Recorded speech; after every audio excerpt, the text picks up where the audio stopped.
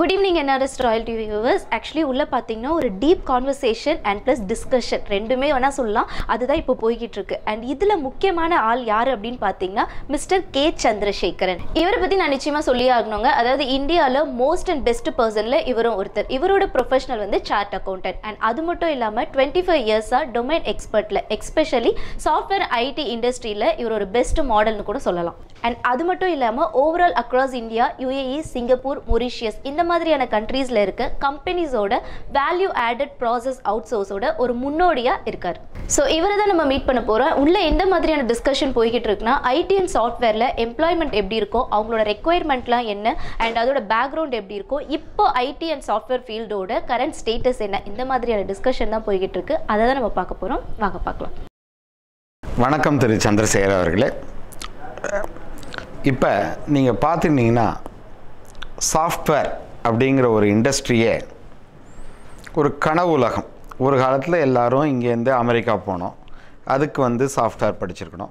அமெரிக்காவில் போய் எங்கேயான Yahoo Microsoft அந்த மாதிரி செட்டில் ஆனோம். இதுதான் பல பெண்களின் பல ஆண்களின் பல குழந்தைங்களுடைய கனவாக இருந்தது. அதுக்கப்புறம் கொஞ்சம் காலத்துக்கு அப்புறம் இந்த மாதிரியே பெரிய பெரிய கம்பெனிகள் இந்தியாவுக்கு வந்தது. இந்தியாவில் பெங்களூருக்கு வந்தது சென்னைக்கு வந்தது ஹைதராபாடுக்கு வந்தது. அவங்க வந்து ஆயிரக்கணக்கான பேரை ரெக்ரூட் பண்ணிட்டு இருந்தாங்க.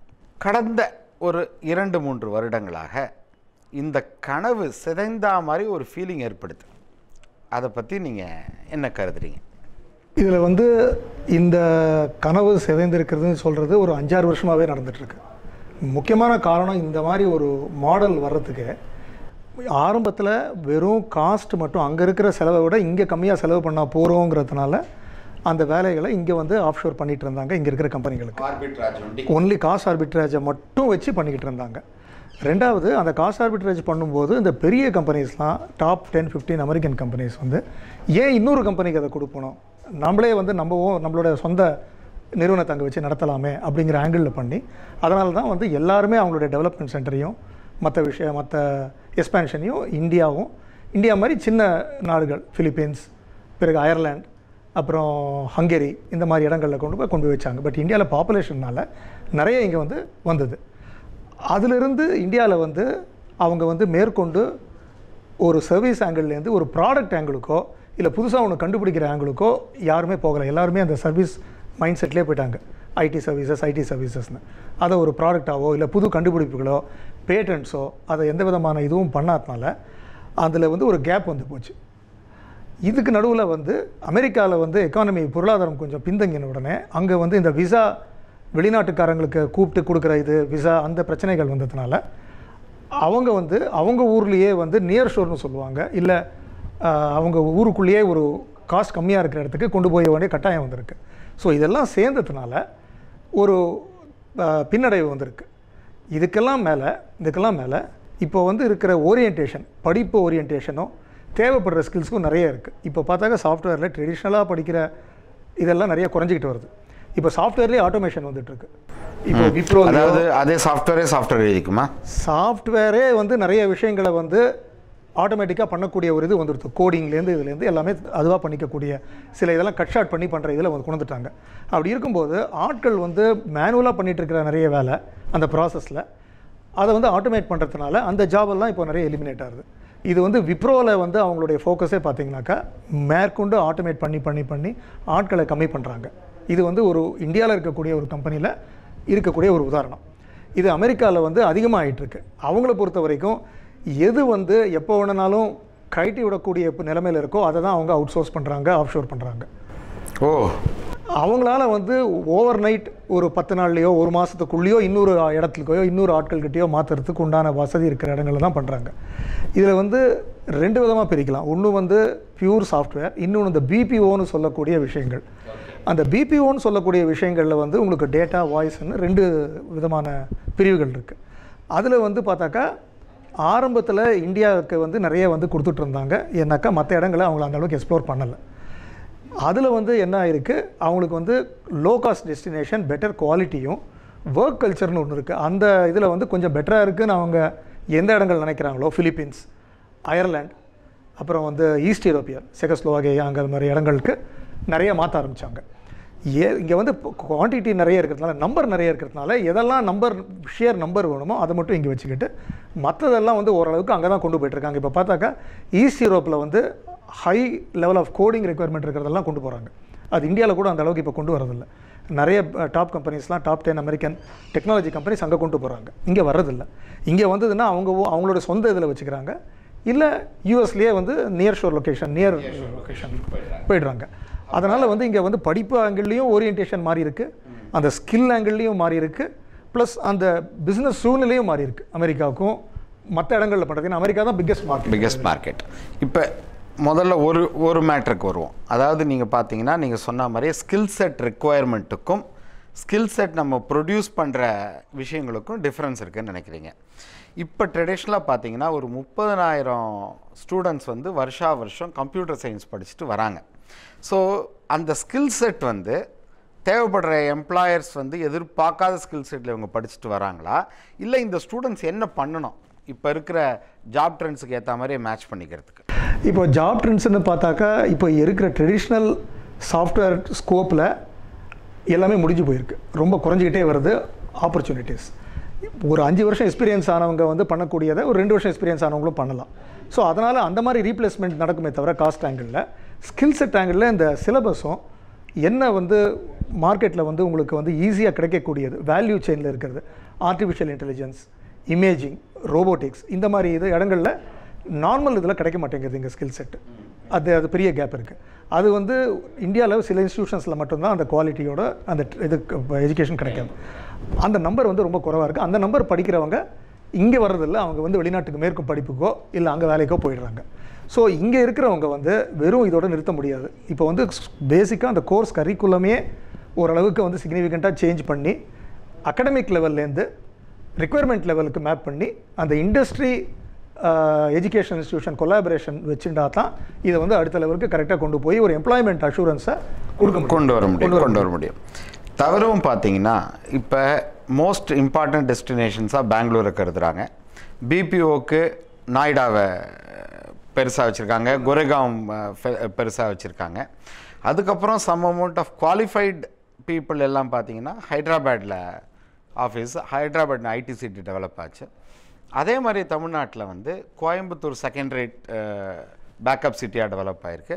பட் ஃபோக்கஸ் பார்த்தீங்கன்னா நம்ம ஊரில் ஓஎம்ஆர் சென்னையில் வந்து ஓஎம்ஆர் ரோட்டில் பல சாஃப்ட்வேர் கம்பெனிஸ் இருந்து அது ஒரு சாஃப்ட்வேர் டெக்னாலஜி பார்க்காக அடையாளம் காணப்பட்டு சிறுசேரின்னு ஒரு டெக்னாலஜி பார்க்கும் போட்டாங்க. ஆனால் ஒரு ஒரு வருஷத்துக்கு முன்னாடி நடந்த துயரமான புயல் வெள்ள சம்பவத்தில் பார்த்து அப்புறம் அந்த ஓஎம்ஆர் ரோட்டில் இருக்கிற பல கம்பெனிகள் வந்து க்ளோஸ் பண்ணிட்டு போயிட்டாங்க. இல்லை நம்பர் ஆஃப் ஜாப்ஸை குறைச்சிக்கிட்டு போயிட்டாங்க. இது எதனால் இருக்கும்னு நீங்கள் கருதுறீங்க? இந்த மாதிரி வந்து சாஃப்ட்வேரை வந்து டெவலப்மெண்ட்டையோ மெயின்டெனன்ஸையோ அதை வந்து வெளிநாட்டில் ஒரு இடத்துல கொண்டு போய் வைக்கும்போது முக்கியமான இதுவே கண்டினியூட்டின்னு சொல்லுவாங்க. தொடர்ந்து இருக்கணும் இப்போ இந்த மாதிரி ஒரு சமயத்தில் வேறு வந்து வேறு ஒரு பெரிய மல்டிநேஷ்னல் நிறுவனம்னாக்கா அவங்க ஒரு பதினஞ்சு இருபது இடத்துல அந்த இது வச்சுருப்பாங்க பேக்கப்பு இப்போ வந்து இந்த என்டையர் இதில் எபிசோடில் பார்த்தீங்கன்னாக்கா மல்டிநேஷ்னல் நிறுவனங்கள் வந்து அவங்க இம்மீடியட்டாக வந்து விதின் ஃபியூ ஹவர்ஸ் வந்து பெங்களூருக்கு சிங்கப்பூருக்கு மற்ற இடங்களுக்கு மாற்றிட்டாங்க எதுவுமே அஃபெக்ட் ஆகலை. ஒரு குறிப்பிட்ட நிறுவனம் டெலிஃபோன்ஸில் இருந்தது. நான் அதை பேர் என்னங்கிறது சொல்ல விரும்பல. அவங்க வந்து ஓவர் நைட் எல்லாரையும் கொண்டு போய் பெங்களூருக்கு எல்லாரையும் அனுப்பிட்டாங்க. ஷிஃப்ட் பண்ணிட்டாங்க. அதனால் இங்கே இருந்ததை பற்றி எதுவுமே கவலைப்படல. அதனால் இந்த சம்பவம் முடிஞ்சு நார்மல்சி வந்த உடனே திரும்பவும் எல்லாரையும் இங்கே கொண்டு வந்துட்டாங்க. இதில் வந்து இம்பேக்ட் ஆனதோ இதில் பாதிக்கப்பட்டதோ எல்லாம் பார்த்தீங்கன்னாக்கா அங்கேருந்து சப்கான்ட்ராக்டோ இல்லை மெயின் கான்ட்ராக்டோ வாங்கின இந்திய நிறுவனங்கள் தான். மல்டிநேஷ்னல் கம்பெனிஸ் யாரும் வந்து பாதிக்கப்படலை. ஏன்னா அவங்களுக்கு வந்து அந்த disaster recovery business continuity planning ரெண்டுத்தையும் வச்சுட்டு இருக்கிறதுனால அதுக்கு உண்டான அளவுக்கு அவங்க ஸ்கேல் இருக்கிறதுனால அவங்க ஆஹ், ப- ப- மாறி போயிருக்கு. நம்ம சின்ன நிறுவனங்கள் அதெல்லாம் செய்யல. சின்ன நிறுவனங்களில் வந்து அவங்களுக்கு வரக்கூடிய எக்கானமிஸ் ஆஃப் ஸ்கேல் அந்த ஜாபோட நேச்சருக்கு அவங்களால அது மாதிரி வந்து வச்சு பண்ண முடியாது. அது வந்து அது அந்த அது வந்து ஒன்றும் அது வந்து நேச்சர் ஆஃப் த பீஸ்ட்டுங்கிற மாதிரி ஒன்றும் பண்ணக்கூடிய நிலைமையில இல்லை. அதனால் அவங்க பாதிக்கப்பட் பட்டு தான் ஆகணும் பாதிக்கப்பட்டுட்டாங்க. ஏன்னா இங்கே வந்து மார்ஜின்ஸ்லாம் ரொம்ப கம்மியாகிடுது இப்போ. முன்ன அளவுக்கு வந்து ரொம்ப அதிகமாக இருக்கிறது கிடையாது. அதனால் அதில் வந்து சர்வைவல் மட்டும்தான் இருக்க முடியுமே தவிர இந்த மாதிரி லாங் டர்மாக என்றைக்கோ ஒரு நாள் வர வேண்டியதுக்கு வச்சு அவங்களால வந்து இன்வெஸ்ட் பண்ணிட்டு பண்ண முடியாது. இதில் இன்னொன்று என்னென்னாக்கா இதே மாதிரி ஒரு சம்பவம் நடந்தது. அமெரிக்காவில் அந்த ட்வின் டவரில் நடந்த சம்பவம். அந்த டைமில் அங்கே ஒரு பெரிய பேங்க்கில் கண்டினியூட்டி இல்லாமல் ஒரு வாரம் சிஸ்டம் ஷட் டவுன் ஆயிருந்தது. ஸோ இது வந்து இங்கே தான் நடக்கிறது அப்படிங்கிறது கிடையாது. அங்கேயும் நடந்திருக்கு. நடந்திருக்கு நடந்திருக்கு நடந்திருக்கு. நைன் லெவன் போது அங்கே வந்து ஒரு பெரிய பேங்க் நியூயார்க்கில் அவங்க வந்து அதை வந்து வாஷிங்டனுக்கு ஷிஃப்ட் பண்ணாங்க ஃபிலடெல்ஃபியா ஷிஃப்ட் பண்ணாங்க. அது வரைக்கும் அவங்களுக்கு ஒன் வீக் வந்து ஒரு வாரத்துக்கு எந்த விதமான transaction பண்ண நடக்கல. முடியாம இது பண்ணிட்டாங்க கஷ்டப்பட்டாங்க. ஸோ அந்த மாதிரி ஒரு சுச்சுவேஷன் நடக்குது. இப்போ நீங்கள் முதல்ல சொன்னீங்க காஸ்ட் ஆர்பிட்ராஜில் ஆரம்பித்த சாஃப்ட்வேர் இண்டஸ்ட்ரி வேல்யூ செயினில் நம்ம ஃபுல்லாக மூவ் பண்ணல அப்படின்னு சொன்னீங்க. என்ன மாதிரி வேல்யூ செயினில் இப்போ இன்ஃபோசிஸ் வந்து ஒரு வேல்யூ செயினில் மூவ் பண்ணியிருந்தாங்க. டெக்னாலஜி ஓரியன்டேஷன் கொண்டு வந்தாங்க. இப்போ ஆட்டோமேஷன் செக்டாருக்கும் அப்போ இப்போ தான் இந்த புது சிக்கா அதில் தான் நிறையா ட்ரை பண்ணார். பட் மற்ற கம்பெனிஸ்லாம் வெறும் ஒரு காஸ்ட் ஆர்பிட்ரேஜ்லேருந்து ஒரு ப்ராடக்ட் மூமெண்ட்டுக்கோ நம்ம பிராண்டட் இப்போ இன்ஃபோசிஸ் பார்த்தீங்கன்னா பேங்கிங் செக்டாரில் பெருசாக இருந்தாங்க. அந்த மாதிரியே வேறு எந்த கம்பெனிகளும் நம்மக்கிட்ட ஒரு பிராண்டட் சாஃப்ட்வேர் கொண்டு வரதே இல்லையே. ஏன் நம்மளால் ஒரு கூகுளை உருவாக்க முடியல? அதுக்கு காரணம் ஆரம்பத்துல இருந்தே அந்த ரிஸ்க் டேக்கிங்ன்ற இது வந்து இங்கே வந்து அமெரிக்கா அளவுக்கு பிரபலமாக இல்லை. அமெரிக்காவில் வந்து பத்து முறை ரிஸ்க் எடுத்து ஃபெயில் ஆனாலும் பதினொன்றாவது முறை அவங்களால கிரியேட் பண்ண முடியும். இங்கே வந்து அந்த ரிஸ்க் எடுக்கிறதுக்கு பதிலா ரெண்டாவது முறையே முடியாது. முதல் முறையே முடியாது. அதே மாதிரி ஆரம்பத்தில் வந்து எல்லாருக்கும் வந்து அந்த ஈஸி மணின்னு சொல்லுவாங்க. அவங்க ஆரம்பிக்கும் போது இது வந்து நைன்டீன் நைன்டி நைனில் வந்து பிக்கப் ஆச்சு. அந்த டூ தௌசண்டில் கொஞ்சம் டிப் வந்ததே தவிர ரெண்டாயிரம் வருஷத்தில். அதுக்கப்புறம் அதுக்கு பிறகு பார்த்தீங்கன்னாக்கா உங்களுக்கு வந்து எல்லாமே அந்த சர்வீசஸ் செக்டரில் வந்துக்கிட்டே இருந்தது ஜாப்ஸ் அதனால் யாரும் வந்து அந்த லெவலுக்கு வந்து திங்க் பண்ணி அடுத்த லெவலுக்கு போகணுங்கிற ஒரு மனப்பான்மையிலையும் இல்லை. கவர்மெண்ட்டும் அது வந்து அரசாங்கமும் அதுக்கு வந்து யாரையும் வந்து அந்த ப்ரிப்பேர் பண்ணவும் இல்லை. சிங்கப்பூர்லேயோ இல்லை யூகேலேயோ இல்லை ஜெர்மனிலேயோ அவங்க வந்து ப்ரிப்பேர் பண்ண அளவுக்கு தயார் இது பண்ண அளவு ஆண்டர்பிரினர்ஸை தயார் பண்ண அளவுக்கு எஜுகேட் பண்ண அளவுக்கு இங்கே நடக்கலை அது. அந்த ஸ்கில் டெவலப்மெண்ட்னு சொல்லக்கூடியது இப்போ தான் வந்து கொஞ்சம் கொஞ்சமாக பிக்கப் ஆகிட்டுருக்கு ஆனால் அதுக்குள்ளே அந்த இண்டஸ்ட்ரியோடைய ட்ரெண்டே மாறி போயிடுச்சு இப்போ. இண்டஸ்ட்ரியோட ட்ரெண்ட் வந்து முன்னே இருந்தது வேறு nine two thousand five six வரைக்கும் இருந்தது வேறு டுவெல் வரைக்கும் வேறு இப்போ இருக்கிறது வேறு.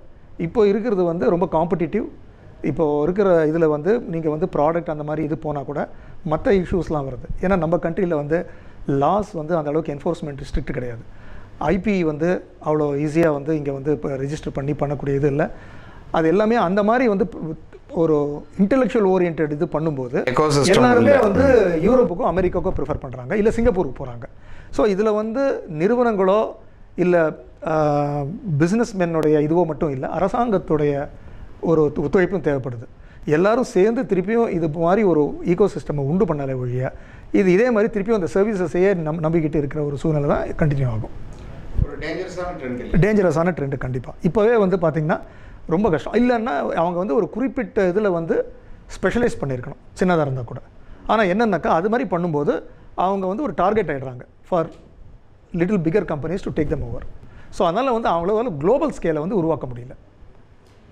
எக்ஸிட் ரூட்ஸ் பிளானிங்கில் இருக்கிற அளவுக்கு ஸ்கேல் பிளானிங் இல்லைங்க இல்லை இல்லை இல்லை. ஸ்கேல் பிளானிங் இல்லாததுக்கு காரணம் வந்து இன்னொன்று இங்கே வந்து குவாலிட்டி ஆஃப் ரிசோர்ஸஸ் இங்கே முப்பதாயிரம் இன்ஜினியர் நாற்பதாயிரம் இன்ஜினியர் சொல்கிறீங்க அதில் பார்த்தீங்கன்னா எம்ப்ளாயபிலிட்டின்னு சொல்லக்கூடிய இதில் வந்து ஆங்கிளில் ரொம்ப குறைவாக தான் இருக்காங்க.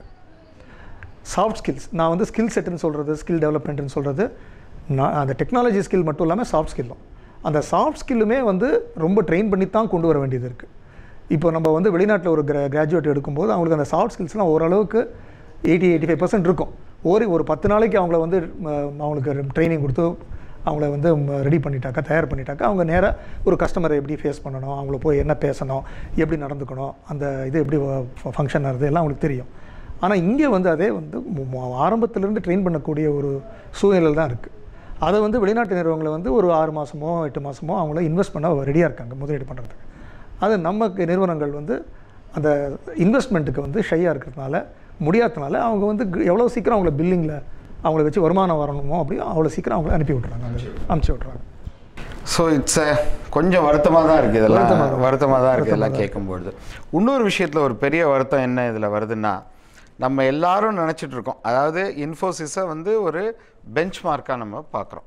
இந்தியாவில் இருக்கிற அத்தனை கம்பெனிஸும் இன்ஃபோசிஸ் ஒரு பெஞ்ச் மார்க்கு ரெண்டு மூணு விஷயத்தில். ஒன்று அவங்க வளர்ந்த விதம். ஒன்றும் பெரிய கேபிட்டல் இல்லாமல் ஸ்மால் இருந்த ஆண்டர்ப்ரனர்ஸு இருபத்தஞ்சாயிரம் ஐம்பதாயிரம் ரெண்டு லட்சம் போட்டு ஒரு கம்பெனி ஆரம்பித்து இன்றைக்கி ஒன்றரை லட்சம் கோடி ரெண்டு லட்சம் கோடி பேசக்கூடிய அளவுக்கு அந்த கம்பெனியை எடுத்துக்கிட்டு போய் அதோடு இல்லாமல் அந்த ப்ரமோட்டர் ரிட்டையர் ஆகி அந்த ப்ரமோட்டர் செட்டே வெளியில் வந்து ப்ரொஃபஷனல் மேனேஜ்மெண்ட்டும் மேனேஜ்மெண்ட் ஒண்டி ப்ரொஃபஷனல் இல்லை போர்டுமே professional so complete difference between ownership and management அதை கொண்டு வந்தாங்க. கொண்டு வந்து எல்லாரும் அதை ஒரு ஒரு பெஞ்ச் மார்க்காக பார்க்குற ஒரு லீடர்ஷிப் ரோலில் பார்க்குற இடத்துல கடந்த ஆறு மாதமாக ப்ரமோட்டர்களுக்கும் போர்டுக்கும் பிரச்சனையாகி இன்றைக்கி அவர் போயிட்டார். ப்ரொஃபஷனல் மேனேஜ்மெண்ட் எக்ஸிட் ஆகிடுச்சு ப்ரொஃபஷனல் போர்டுமே எக்ஸிட் ஆகிற நிலைமையில் இப்போ இருக்குது நீங்கள் வந்து பல கண்ட்ரீஸில் கம்பெனிஸ் வச்சுருந்தீங்க. வச்சிட்ருக்கீங்க மொரேஷியஸில் இருக்குது உங்களுக்கு சிங்கப்பூரில் இருக்குது துபாயில் இருக்குது அமெரிக்காவில் இருக்குது பல கண்ட்ரீஸ்னுடைய எக்ஸ்பீரியன்ஸ் உங்களுக்கு இருக்குது அந்த எக்ஸ்பீரியன்ஸ் வச்சு நீங்கள் உங் அதாவது ஆஸ் அன் இண்டியனாக இதை பார்க்காம ஒரு ஃபாரின் எக்ஸ்பீரியன்ஸ் வச்சு அந்த கண்ணோட்டத்தில் இன்ஃபோசிஸை எப்படி பார்ப்பீங்க? இப்போ வந்து வெளிநாட்டில் இருக்கும்போது அவங்க வந்து இண்டிபெண்டன்ட் டைரக்டர்ஸ்னு சொல்லுவாங்க. அந்த ப்ரொஃபஷனல் போர்டோ இண்டிபெண்ட் டைரக்டர்ஸோ அவங்க உண்மையிலேயே ப்ரொஃபஷனலாகவும் இண்டிபெண்ட்டாகவும் இருப்பாங்க. இன்ஃபோசிஸ்லேயும் அப்படி தான் இருந்திருக்கணும் அவ்வளோ பெரிய கம்பெனியில் ஏன்னா அதில் இருக்கக்கூடிய இயக்குனர்கள் எல்லாமே வந்து அவங்க அவங்க துறையில் வந்து ரொம்ப தேர்ச்சி பெற்றவங்க ரொம்ப பெரிய ஆட்கள். இதில் வந்து ஒரு முக்கியமான வித்தியாசம் என்னென்னாக்கா அமெரிக்கா சிங்கப்பூர் மாதிரி இடங்களுக்கும் நம்ம கண்ட்ரிலும் இங்கே எவ்வளவு தான் பெருசாக கம்பெனி வளர்ந்தாலும் அந்த ப்ரொமோட்டருக்கும் மேனேஜ்மெண்ட்டுக்கும் உண்டான ஒரு அது அவங்களே வெளியில் போனாலும் அவங்களோட தான் அதை வந்து அதை லிங்க் பண்ணுறாங்க அசோசியேட் பண்ணுறாங்க அது வந்து பிரிக்க மு- முடியல. இப்போ அமெரிக்காவில் பார்த்தீங்கன்னாக்கா எவ்வளோ தான் வந்து வாரன் பொஃபேவோ இல்லை பெரிய ஃபண்ட்ஸ் இன்வெஸ்ட் பண்ணாலும் அவங்க இன்வெஸ்டார் ஷேர் ஹோல்டர் அதோட முடிஞ்சு போச்சு. அதே போல் அவங்களே கம்பெனி ரன் பண்ணிட்டு இருந்தால் கூட நடத்திட்டு இருந்தால் கூட அவங்க வெளியில் மூவ் ஆன அப்புறம் அவங்க வந்து அந்த கம்பெனியில் நல்லது கெட்டது எதுவாக இருந்தாலும் அவங்களுக்கு என்ன இடத்துல வந்து சொன்னாக்கா அது வந்து அவங்க சட்டத்திட்டத்துக்கு உட்பட்டு எங்கே சொல்லணுமோ அதை மட்டும் சொல்லி நிறுத்திடுறாங்க. அதுக்கு மேலே நான் முன்னாடி வந்து இந்த மா இந்த மாதிரி ஒரு கம்பெனியில் ப்ரொமோட்டராகவோ இல்லை ஒரு நிர்வாக இயக்குனராகவோ இருந்தேங்கிற ஒரு இதில் அவங்க வந்து எதையும் பண்ணுறதில்ல அவங்கள சுற்றி இருக்கிறவங்க வந்து அந்த கோரஸ் சொல்கிறதில்ல இவங்க தான் பண்ணணும் அவங்க தான் பண்ணணும் அவங்க சொல்கிறது சரி. அதனால தான் அங்கே இருக்கிற இது வந்து எல்லா இஷ்யூஸும் சீக்கிரம் முடிஞ்சிடுறது. இது வந்து இப்போ வந்து இன்ஃபோசிஸ் வந்த மாதிரி வேறு மாதிரி ஒன்று சன் மைக்ரோ சிஸ்டம்ஸ்னு ஒரு கம்பெனியில் ரொம்ப நாள் முன்னாடி வந்தது. அது வந்த உடனே என்ன பண்ணாங்க அந்த ப்ரொமோட்டர் வந்து கில்ட்டின்னு க கண்டுபிடிச்சி அதில் ஒருத்தரை வந்து விட்டுட்டாங்க. இன்னொருத்தரை வந்து அவர் ஒரு இந்தியன் அவரை வந்து அந்த கம்பெனிலேருந்து வெளியே அனுப்பிட்டாங்க. அவர் ஓனர் ஷேர் ஹோல்டர் எல்லாம் இருந்தாலும் அதோட அந்த உறவை வந்து அறுத்து விட்டாங்க. அந்த சிஸ்டம் அந்த மாதிரி இருக்குது இங்கே வந்து இங்கே இருக்கிற ரெகுலேட்டரி ஏஜென்சி இப்போ தான் வந்து இவங்க எல்லாமே பார்க்குறாங்க எப்படி பண்ணணும் என்ன பண்ணணுங்கிறத இப்போ தான் எல்லாருமே பார்க்குறாங்க இது வந்து ஒரு மாடல் கேஸாவோ இதுவாகவோ தான் பண்ணுறாங்க ஸோ இதில் வந்து இது இது வந்து அந்த நிறுவனத்தை பற்றியோ அந்த இயக்குனர்களோ அந்த ப்ரொமோட்டரை சார்ந்த ப்ராப்ளம் மட்டும் இல்லை. இது வந்து மொத்த ஒரு அந்த இந்தியாவில் இருக்கிற ஈகோ சிஸ்டம் எல்லாமே. அது வந்து பங்கு சந்தையோ இல்லை ஜென்ரல் பப்ளிக்கோ எல்லாருமே யார் தொடங்கினாங்களோ அவங்களோடவே தான் கடைசி வரைக்கும் அதை அசோசியேட் பண்ணுறாங்க அவங்களால அந்த இதை பிரிக்க முடியல. அது பிரிக்கணுங்கிறது வந்து ஒரு லாங் டேர்ம் இதுவாக தான் நடக்குமே தவிர இந்த மாதிரி ஒரு ஏதாவது ஒரு சம்பவம் நடந்த பிறகு தான் அதுக்கு ஒரு வழிமுறைகள் எவால்வ் ஆகும். அப்போ நீங்கள் பார்த்தீங்கன்னா இந்தியாவில் வந்து டைவர்ஷன் ஆஃப் ஓனர்ஷிப் அண்ட் மேனேஜ்மெண்ட்டுங்கிறது இப்போ இருக்கிற சூழ்நிலையில் எக்கோ சிஸ்டம் லீகல் மற்ற சப்போர்ட் சிஸ்டம் சூழ்நிலையில் பாசிபிள் இல்லைங்கிறீங்களா? ரொம்ப கடினமான ஒன்று அது வந்து அந்த ஒரு மைண்ட் செட்டே இல்லை. அந்த மனப்பான்மையே வந்து எல்லாத்தையும் ஒன்றா சேர்த்து பார்க்குற மாதிரி தான் இருக்குது ஸோ கார்ப்பரேட் கவர்னன்ஸ் ஸ்டாண்டர்ட்ஸும் அப்போ ரொம்ப ஹையாக வர முடியாதுல்ல? கார்ப்பரேட் கவர்னன்ஸ் ஸ்டாண்டர்ட்ஸ் வந்து ஹையாக வைக்க போனாக்கா ப்ரொமோட்டர்ஸ் வந்து ப்ரொஃபஷனல் போர்டோ இல்லை ப்ரொஃபஷனல் எக்ஸிக்யூட்டிவ்ஸோ பண்ணுற ஒரு நல்லது கெட்டதுக்கும் அவங்கள தான் பொறுப்பாயிடுறாங்க. அதனால் அவங்க பொறுப்பாகும்போது அவங்க என்ன பண்ணுறாங்க என்னுடைய கண்ட்ரோல் கம்பெனியில் இருக்கணும். என்னுடைய பங்கு இருக்குது என்னுடைய பேர் இருக்குது அப்படிங்கிறதுனால அவங்க திரும்ப திரும்ப வரணுங்கிற ஒரு மனப்பான்மை அவங்களுக்கு இருக்குது அதனால் வந்து அது அந்த ப்ரொமோட்டர் அப்படிங்கிற ஒரு ஒரு பொசிஷனை எந்த ஒரு நல்லது கெட்டதுக்கும் போய் அந்த ஈகோ சிஸ்டம் வந்து கேட்குறதோ இல்லை அவங்க மேலே வந்து ஒரு வியூவோட பார்க்குறதையோ கொஞ்சம் குறைச்சிக்கிட்டு இஷ்யூ பேஸ்டாக போனாக்கா இந்த டீலிங்கிங் வந்து கொஞ்சம் பாசிபிளாக இருக்கும் ஒவ்வொரு பீரியட் ஆஃப் ஒரு பீரியட் ஆஃப் சரி இப்போ மற்ற எல்லா இண்டஸ்ட்ரியும் இந்தியாவில் பார்த்தீங்கன்னா ஒரு பீரியட் ஆஃப் கன்சால்டேஷன் நடந்துட்டுருக்கு இப்போ வந்து மேனுஃபேக்சரிங் இண்டஸ்ட்ரி இந்தியாவில் கொலாப்ஸ் ஆயாச்சு. இருக்கிற மேனுஃபேக்சரிங் இண்டஸ்ட்ரி ஸ்மால் ஸ்கேலில் no longer is a viable option software இண்டஸ்ட்ரியில் ஒரு காலத்தில் ஒன் மேன் ஷோவாக ஆரம்பிச்சிருக்க முடியும். அப்படியே டெவலப் ஆகிட்டு இருக்க முடியும். பெரிய கேபிட்டல் இல்லாமல் பண்ண முடியும். செகண்ட் லெவல் ஃபண்டிங் பல இடத்துலேருந்து அவைலபிளாக இருந்தது. இப்போ அந்த சுச்சுவேஷன் தொடருமா? இல்லை சாஃப்ட்வேர் இண்டஸ்ட்ரியும் ஒரு கன்சால்டேஷன் ஃபேஸ் ரொம்ப ரேப்பிடாக போகுமா? சாஃப்ட்வேர் இண்டஸ்ட்ரியும் நிறைய கன்சாலிடேஷன் நடந்துடுது. இந்த கடந்த ஒரு ஏழு எட்டு வருஷமாக நிறைய கன்சாலிடேஷன் முடிஞ்சிடுது. இதில் வந்து ஒரு இன்டலெக்ட் ஓரியன்டாக பண்ணக்கூடியது. ஒரு பேட்டண்ட்டோ ஒரு கண்டுபிடிப்போ பண்ணும்போது ஒரு ஐடியாவாகவும் இருக்கலாம் அது. அது பண்ணும்போது எல்லோரும் வந்து இங்கே இருந்து பண்ணக்கூடிய ஒரு மனப்பான்மையில இல்லை. அவங்களுக்கு வந்து அவங்களுடைய கண்டுபிடிப்போ ஐடியாவோ எங்கே வந்து அவங்களுக்கு அந்த பாதுகாப்பு இருக்குமோ சிங்கப்பூருக்கோ யூகேக்கோ யூஎஸ்க்கோ போகக்கூடிய ஒரு மனப்பான்மையில் தான் இருக்காங்க. அதனால் அந்த sector segment of the population வந்து இங்கே வந்து இன்னும் ஆரம்பித்து பெருசாக வரக்கூடிய வாய்ப்பு இருக்குதுன்னு எனக்கு நம்பிக்கை இல்லை. மற்ற இருக்கக்கூடிய இது வந்து நிறைய கன்சல்டேஷன் ஆகிட்டுருக்கு ரெகுலராக வந்து ஒரு பத்து வருஷத்துக்கு முன்னாடி பண்ண ஸ்கில் செட்டோ பத்து வருஷத்துக்கு முன்னாடி பண்ண ஜாபையோ இன்றைக்கி ஆரம்பித்து ஒரு தனி மனிதனாவோ ஒரு மூணு நாலு பேரோ சேர்ந்து பண்ண ஆரம்பித்து பண்ணக்கூடிய நிலைமையில் இன்றைக்கி வந்து அந்த இண்டஸ்ட்ரி இல்லை. இல்லை. கண்டிப்பாக இல்லை. இன்றைக்கி வந்து ஸ்கேல் வந்து ரொம்ப அவசியம். அந்த ஸ்கேல் பண்ணுறதுக்கு கேபிட்டல் அவசியம். அதில் வந்து ரிஸ்க் ஆஃப் ஃபெயில்யூர் வந்து அதிகம். அதுக்கு உண்டான கேபிட்டல் கிடைக்கிறதில்ல. கிடைக்கிறதில்ல. இப்போ பார்த்தீங்கன்னா ரிஸ்க் ஆஃப் ஃபெயிலியர்ஸில் வந்தது. இந்தியாவில் வந்து ஒரு தரம் ஃபெயில் ஆயிட்டிங்கன்னா அந்த ப்ரமோட்டரை கேட்பாங்க. சக்ஸஸ் ஆச்சுன்னு வச்சுங்க. எம்ப்ளாயீஸ் பேங்க்ஸ் ஷேர் ஹோல்டர்ஸ் இவங்க எல்லாருக்கும் கிரெடிட் போகும். Failure is always to the cost of promoter correct further இந்தியாவில் வந்து இன்றைக்கும் பேங்க் லோன்ஸை ப்ரமோட்டர் தான் தரணும் திருப்பியும். கம்பெனி நஷ்டமானால் கூட. இப்போ நிறையா பேர் இதை ஒத்துக்க மாட்டாங்க. Even if you take Kingfisher case அந்த கேஸ்லேயுமே அவருடைய பிஸ்னஸ் ஃபெயில் ஆச்சு. அவர் பர்சனலாக எவ்வளோ டைவர்ட் பண்ணார் பண்ணலைங்கிறத I will leave it to the courts but பார்த்தீங்கன்னா அந்த பிஸ்னஸ் அவருக்குண்டி கொண்டு ஃபெயில் ஆகலை. பல பேருக்கு ஃபெயில் ஆச்சு. ஏர் இந்தியா முப்பதாயிரம் கோடி ரூபா லூஸ் பண்ணிச்சு அந்த பீரியடில் thirty thousand crores was the loss in that four years period இன்றைக்கி ஏர் இண்டியாவை நீங்கள் டோட்டல் லாஸ் அப்படின்னு எடுத்தீங்கன்னா எண்பதாயிரம் கோடிக்கு மேலே கிராஸ் ஆகுது. அதை யார் கொடுக்குறாங்க? கவர்மெண்ட் தான் கொடுத்தது. So public only gave that eighty thousand crores also இந்த கிங்ஃபிஷரில் லாஸ்ட் நைன் தௌசண்ட் க்ரோர்ஸு எவ்வளோ ஏர் இண்டியா சேர்மனியோ எவ்வளவு மினிஸ்டர் ஆஃப் ஏவியேஷனை நம்ம அரெஸ்ட் பண்ணியிருக்கோம்? ஏன் இந்த ப்ரமோட்டர் ஒண்டி நம்ம அரெஸ்ட் பண்ணணும்னு சொல்கிறோம் because risk and cost of ஃபெயிலியரை ஒரு பர்சனல் ப்ரமோட்டருக்கு ஆஸ்கிரைப் பண்ணுற அளவுக்கு கவர்மெண்ட் ப்ரமோட்டருக்கு நம்ம ஆஸ்கிரைப் பண்ணுறது இல்லை ஸோ இப்படி இருக்கிற சுச்சுவேஷனில் எப்படி இந்தியாவில் பல சாஃப்ட்வேர் நிறுவனங்கள் ரிஸ்க் ஆஃப் ஃபெயிலியர் இருக்கும்பொழுது புது டெக்னாலஜி வரும்பொழுது ஃபெயில் ஆகிறதுக்கு நிறையா வாய்ப்பு இருக்குது அந்த டெக்னாலஜிக்கல் ஸ்பேஸில் எப்படி வரும்னு நீங்கள் நினைக்கிறீங்க?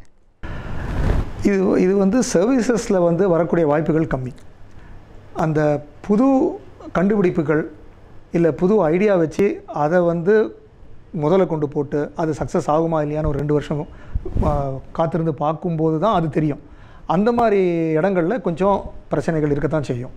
அதுக்கு தான் இப்போ வந்து அரசாங்கம் வந்து இந்த ஸ்டார்ட் அப்புக்கு தனியாக அதுக்குண்டான ஃபண்டிங்கோ அதுக்குண்டான ஃபெயிலியூர் ஈகோ சிஸ்டமையோ தனியாக பார்க்கக்கூடிய ஒரு கைட்லைன்ஸை எவால்வ் பண்ணிட்டு இருக்கிறதா நான் படித்தேன் அந்த மாதிரி வந்து அந்த ஈகோ சிஸ்டம் வந்து அந்த விச்சன்டிங்கிற ஒரு விண்டிக்டிவ் இதோ இல்லை ஒரு அக்யூசேஷனோ இல்லாமல் இல்லைன்னா அந்த அலிகேஷன்லேயே வந்து அந்த ப்ரொமோட்டரோ இல்லை அந்த நிறுவனத்தை தொடங்கினவங்களோ ஒரு பத்து வருஷம் இருக்க வேண்டியிருக்கும். அந்த மாதிரி இருக்கும்போது அவங்களுடைய ப்ரொடக்டிவ் லைஃபே போயிடும். அந்த மாதிரி ஈகோ சிஸ்டம் வந்து அதை வெளியில் எடுத்துருச்சுனாக்கா if it is able to eject that kind of situation உங்களுக்கு நிறைய வந்து புது புது கண்டுபிடிப்புகளோ அதுக்குண்டான வாய்ப்புகளோ வரும். சிங்கப்பூரில் பார்த்தீங்கன்னா பத்து பேர் இருபது பேர் இருக்கிற கம்பெனியே டெக்னாலஜி கம்பெனி நிறைய இருக்குது நல்லா சர்வைவ் ஆகிட்டு இருக்காங்க. நல்ல லாபம் பண்ணுறாங்க அதுக்கப்புறம் அவங்க ஒரு ஸ்டேஜுக்கு அப்புறம் அது ப்ராடக்டாக இருந்தால் ஒரு பெரிய நிறுவனம் வாங்கிடுது. அது சர்வீஸாக இருந்தால் அவங்களே க்ரோ பண்ணுறாங்க இல்லை வேறு யாராவது நல்ல ஒரு விலைக்கு வாங்கிக்கிறாங்க.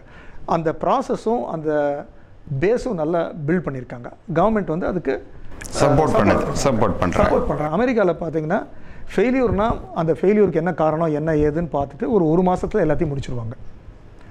ஸோ அவர் லைஃப் லாங் கஷ்டப்பட வேண்டிய அவசியம் இல்லை முடிச்சிருவாங்க. அது தப்பு இருக்கோ தப்பு இல்லையோ அது வந்து ஒரு மாசத்துல வந்து அந்த நிறுவனத்தோட இதெல்லாம் முடிஞ்சு போயிடும். அதுக்கப்புறம் அந்த தொழில் தொடங்கினவரோ இல்லை நடத்திட்டு இருந்தவருக்கோ ஒன்றும் அவருடைய தப்போ இதுவோ எதுவும் இல்லைன்னாக்கா அவர் வந்து அதை க்ளீன் பண்ணிவிட்டு அடுத்ததை வந்து பார்க்க போகலாம். அதுக்கு வந்து அந்த ஐடியா நல்லா இருந்ததுனாக்கா பழசை பற்றி யாரும் தோணா எதிர்பார்க்க நினச்சி பார்க்காம முதலோ இல்லை சப்போர்ட்டோ கொடுப்பாங்க. ஒரு சிலிகான் வேலின்னு சொல்லுவாங்க அந்த இடத்துல ஒரு ப்ரொமோட்டர் அவருடைய முப்பத்தி ரெண்டாவது வயசுலேருந்து அறுபதாவது வயசு வரைக்கும் எல்லாமே ஃபெயில் ஆயிருக்காரு. அறுபதாவது வயசில் அவர் கம்பெனி ஸ்டார்ட் பண்ணி அது வந்து ஒரு டெக்னாலஜி அது வந்து அவர் வந்து ஒரு நாஸ்டாக்ல லிஸ்ட் பண்ணி முந்நூறு மில்லியன் டாலருக்கு விற்றார் இது அமெரிக்காவில் தான் நடக்கும். ரிஸ்க்கு எங்கே வந்து ஜெனியின் ரிஸ்க்கை வந்து உண்மையான ரிஸ்க்கை வந்து சப்போர்ட் பண்ணி அதில் இருக்கிற ஃபெயில்யூரை வந்து ஃபெயில்யூராக பிஸ்னஸ் ஃபெயில்யூராக நினச்சி நடத்தும் போது தான் உங்களுக்கு டெவலப்மெண்ட் இருக்கும். அது சிலிக்கான் வேலிலையோ அமெரிக்காலேயோ அந்த ஈகோ சிஸ்டம் இருக்குது அதனால தான் புது கண்டுபிடிப்புகளோ புது தொழில்களோ அங்கே தான் உருவாகுது. ஸோ பிஸ்னஸ் ஃபெயிலியர் வந்து பர்சனல் ஃபெயிலியர் கருதாமல் இருக்கணும். அங்கே அதுதான் டேக் அவே அங்கே வந்து ஐடியாவோட ஃபெயிலியரோட தான் கருதுறாங்க. ஆ கரு- ஃபெயிலியராக கருதுறது இல்லை. ஆமாம் அதனால தான் எல்லாமே அங்கே போயிட்டு ஸோ தொடங்கணும் அதனால தான் நம்மளால ஒரு எலான் மஸ்கை இங்கே உருவாக்க வந்து. ஐடியாங்கிறதே போயிடுறது. ஐடியாங்கிறது வந்து அந்த ஒரு தனி மனிதரோட சொத்து மாதிரி ஆயிடுறது. அவர் ஃபெயில் ஆன மாதிரி அவர் கொண்டு வந்துடுறாங்க அங்கே அந்த ஐடியா ஃபெயில் ஆச்சு இன்னொரு ஐடியா கொண்டு வரட்டும். அந்த ஐடியா நல்லா இருந்ததுனாக்கா அதை ஃபண்ட் பண்ணுவோம். அங்கேயும் வந்து பத்துக்கு மூணு தான் சக்ஸஸ் ஆகும். ஆனால் அந்த ஏழு வந்து அந்த மூணுடைய சக்ஸஸோட காஸ்ட்டாக எடுத்துக்கிறாங்க. விலையாக எடுத்துக்கிறாங்க. விலையாக எடுத்துக்கிறாங்க. அதை ரெக்கவர் பண்ணணுங்கிற ஒரு ஆங்கிளில் போகிறதில்ல ஸோ அதை இந்தியன்ஸ் வந்து அதை அடாப்ட் பண்ணிக்க ட்ரை பண்ணணும். இந்தியன்ஸ் சொல்கிறத விட இங்கே இருக்கிற எல்லா ஸ்டேக் ஹோல்டர்ஸ்னு சொல்லுவாங்க. கவர்மெண்ட்டோ இல்லை பிஸ்னஸ் பீப்புளோ இல்லை எம்ப்ளாயீஸ் வரவங்களோ இல்லை கடன் கொடுக்கறக்கூடிய வங்கிகளோ எல்லாருமே அதுக்கு உண்டான ஒரு இதை எவால்வ் பண்ணி தான் பண்ணணும். இதில் ஒன்றே ஒன்று சொல்ல விருப்பப்படுறேன். இதில் இந்தியாவில் பார்த்தீங்கன்னா பேங்க்குக்கெல்லாம் வந்து இந்த மேனுஃபேக்சர் அவங்கள யாருக்குமே ரெண்டாயிரத்தி அஞ்சு ரெண்டாயிரத்தி வரைக்கும் ஆறு வரைக்கும் சாஃப்ட்வேர் இண்டஸ்ட்ரிக்கு எப்படி ஃபண்ட் பண்ணணும்னு தெரியாது. அவங்களுக்கு தெரிஞ்சதெல்லாம் வந்து இவ்வளோ வந்து உற்பத்தி ஆகும். அது கொடுப்போம், அவங்க பண்ணிட்டு இருந்தாங்க. ரெண்டாயிரத்தஞ்சு ரெண்டாயிரத்தி ஆறுக்கு அப்புறம் தான் அவங்க வந்து கேஷ் ஃப்ளோன்னு சொல்லுவாங்க. பண வரவு செலவு. அந்த இதுக்குள்ளான கேப்பை வந்து ஃபண்ட் பண்ணணும். அப்படி தான் ஒரு சர்வீஸ் நிறுவனத்துக்கு ஃபண்ட் பண்ணணும் அப்படிங்கிற ஒரு இது வரத்துக்கே அவ்வளோ லேட் ஆச்சு. அதுக்குள்ளே அந்த இண்டஸ்ட்ரி பார்த்தீங்கன்னாக்கா ஒரு ரெண்டு சைக்கிள் வந்து டூ தௌசண்ட் அந்த டாட் காம்னு சொன்னாங்க. ஒய் டூ கே சொன்னாங்க. அதுக்கப்புறம் டூ தௌசண்ட் ஒனில் டாட் காம் வந்தது. ஒரு ரெண்டு சைக்கிள் பார்த்துடுச்சு. அதில் வந்து நிறைய கம்பெனி அப்போ இங்கேயும் வந்து ரொம்ப பாதிக்கப்பட்டாங்க. அதனால் வந்து ப்ரோஆக்டிவாக இருக்கணும். அஹெடாக திங்க் பண்ணணும். அந்த இதில் வந்து ஸ்கில்லை என்ஹான்ஸ் பண்ணணும். அதுக்கு வந்து நம்ம எஜுகேஷன் சிஸ்டமையும் ரீவேம் பண்ணணும். ரீவேம் பண்ணணும். அந்த மாதிரி இது வந்து ஒரு நிறுவனமோ ஒரு அரசாங்கம் மட்டுமோ இல்லை வங்கிகள் மட்டுமோ பண்ணக்கூடியதில்லை. இதுக்கு வந்து தனியாக ஒரு ப்ளூ பிரிண்ட் மாதிரி போட்டு அதை வந்து பண்ணாக்க ஒரு அஞ்சாறு வருஷத்துலையாவது ஒரு நல்ல ஈகோ சிஸ்டம் வரும்னு எதிர்பார்க்கலாம். ஆமாம் சரி இப்போ கடைசியாக தமிழ்நாட்டில் இவ்வளோ பேர் படிச்சுட்டு வராங்க.